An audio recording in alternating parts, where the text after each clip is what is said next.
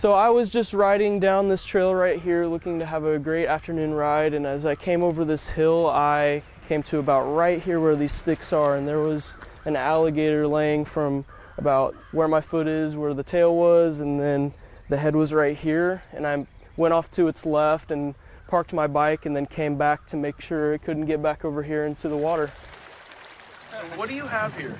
All right, what we have here is the uh, it's an Ozark um, trail lizard. This is an Ozark Greenway trail lizard. Uh, that is where we is- are. This is a newborn.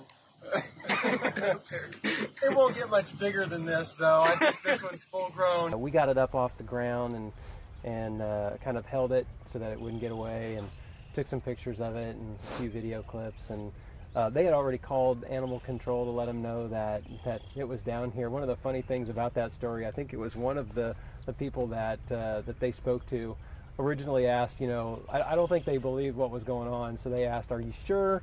But the look on uh, the uh, the agent's face, the, the girl that came and picked it up, Priceless. she was definitely uh, quite taken back at the fact that we had found an alligator on the trail here.